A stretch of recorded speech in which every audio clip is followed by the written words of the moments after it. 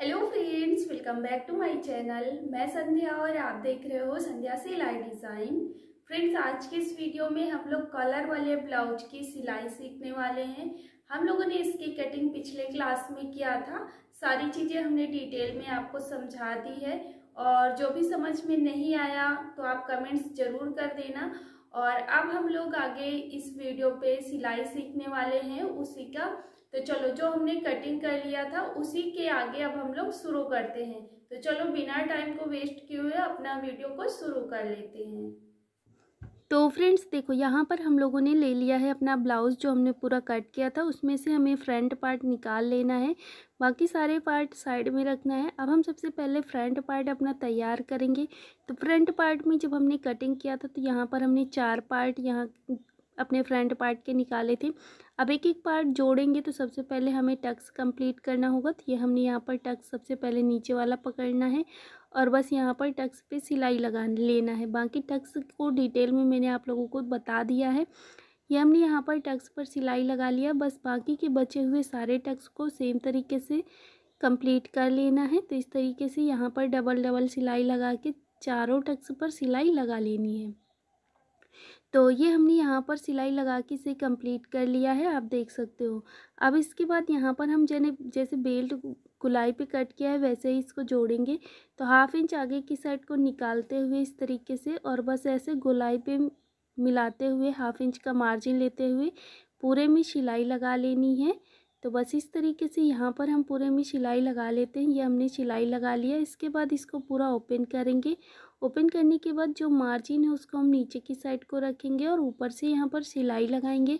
तो बस यहाँ पर हम सिलाई लगा लेते हैं। ये हमने यहाँ पर सिलाई लगा लिया अपनी बेल्ट जोड़ ली। अब आगे से यहाँ पर इसको कट कर देंगे। जो भी एक्स्ट्रा का पार्ट था, ये हमने यहाँ पर कट कर दिया। तो ये हमारा एक पार्ट कंप्लीट हो गया है। अब जैसे हमने ये वाला पार्ट कंप्लीट करा है सेम तरीके से दूसरा वाला पार्ट को भी बना के रेडी कर लेंगे। ये दोनों पार्ट हमने बना के रेडी कर लिया है। अब चलो यहाँ पर हम हुक पट्टी और आई पट्टी लगाएँगे। तो जैसे घटवा पट्टी बढ़वा पट्टी हम लगाते हैं, वैसे ही लगाएँगे। तो ये मेरा बटन वाला ब्लाउज़ है। तो बटन वाले ब्लाउज़ के लिए हम यहाँ पर घटवा पट्टी बढ़वा पट्टी लगाएँगे। और यहाँ पर हमने जब कटिंग किया था तो घटवा पट्टी बढ़वा पट्टी के लिए हमने चार पट्टियाँ निकाली थी। तो हमें यहाँ पर ज्वाइंट लगाना होगा। तो चलो यहाँ पर हम इन्हें ज्वाइंट लगा लेते हैं।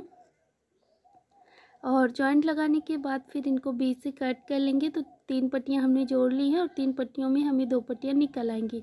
तो इस तरीके से हमने यहाँ पर दोनों पट्टियाँ निकाल ली है। अब यहाँ पर एक एक पार्ट पट्टी को हम बनाएँगे। तो सबसे पहले हम बढ़वा पट्टी बनाएँगे।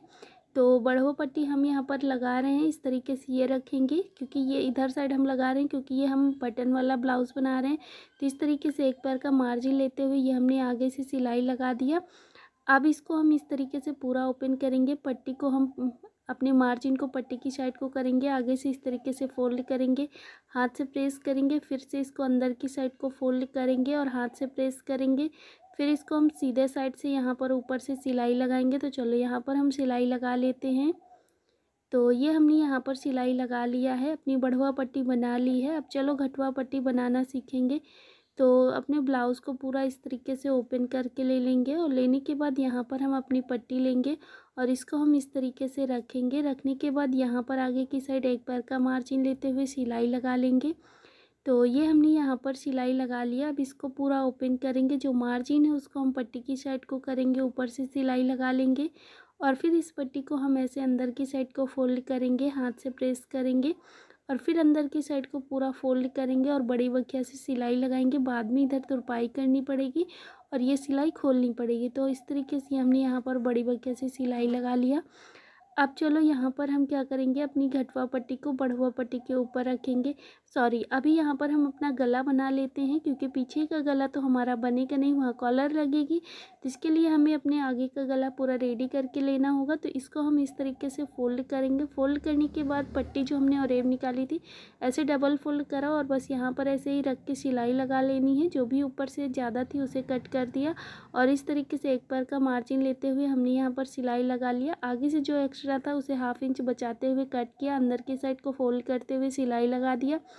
जो भी एक्स्ट्रा ऊपर कपड़ा दिख रहा था, उसे हमने कट कर दिया और यहाँ पर छोटे छोटे से कट्स लगा देना है। सिलाई नहीं कटनी चाहिए, इसका ध्यान रखना है।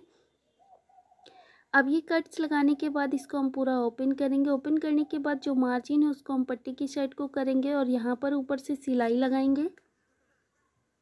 तो इस तरीके से ये हमने यहाँ पर सिलाई लगा दी। अब इस पट्टी को हम ऐसे पूरा अंदर की साइड को फोल्ड करेंगे, बड़ी बखिया से। यहाँ पर हम सिलाई लगाएँगे तो चलो यहाँ पर अब हम सिलाई लगा लेते हैं।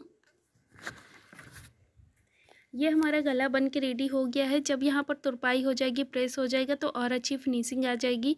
सेम तरीके से हमने दूसरा वाला गला भी बना के रेडी कर लिया है। अब हम घटवा पट्टी को अपनी बढ़वा पट्टी के ऊपर उठा के रखेंगे। पिन से सिक्योर कर दिया है। आगे का पल्ला हमने रेडी कर लिया अब चलो पीछे का पल्ला रेडी करते हैं। तो इसके लिए हमारे पीछे वाले डॉट का कंप्लीट करेंगे सबसे पहले। तो यह हमारा पीछे का डॉट हमने पकड़ लिया और पकड़ने के बाद बस यहाँ पर ऐसे सिलाई लगा लेंगे।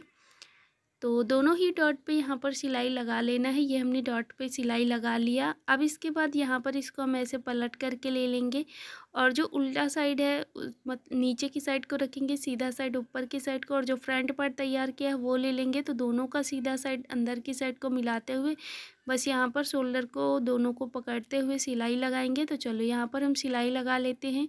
सेम तरीके से दूसरे वाले शोल्डर पर भी सिलाई लगा लेंगे तो ये दोनों शोल्डर पर हमने सिलाई लगा लिया।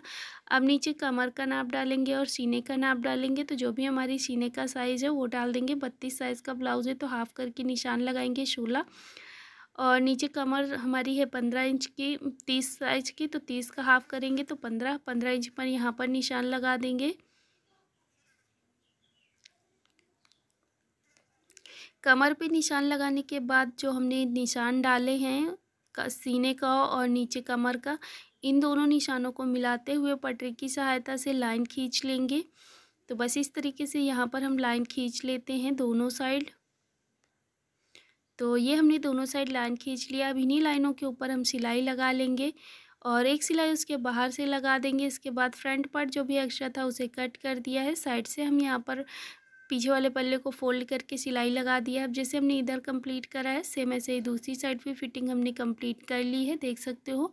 अब यहाँ पर हम नीचे का फोल्ड करेंगे तो नीचे का फोल्ड करने के लिए अब जितना भी हमारा बचा हुआ कपड़ा है, एक्स्ट्रा है, उसे हमें बिल्कुल बराबर से अपने कट कर लेना है फ्रंट पार्ट वाले के और बस यहाँ पर जो हमने पिन निकाल के रखा था, उनको निकाल देंगे लगा के और बस यहाँ पर जो मार्जिन है उसको हम फ्रंट पार्ट की तरफ़ को करेंगे और यहाँ से नीचे से एक बार फोल्ड करेंगे, फिर से फोल्ड करेंगे और बस यहाँ पर अब हम बड़ी बकिया से सिलाई लगा लेंगे।